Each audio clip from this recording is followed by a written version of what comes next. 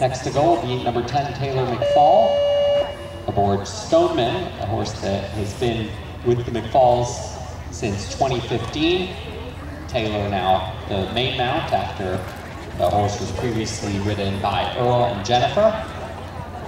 Stoneman, former racehorse bred in Oregon by the Kentucky Derby winner Grindstone, and with Taylor has been second or third in four FEI events at the two and three star levels.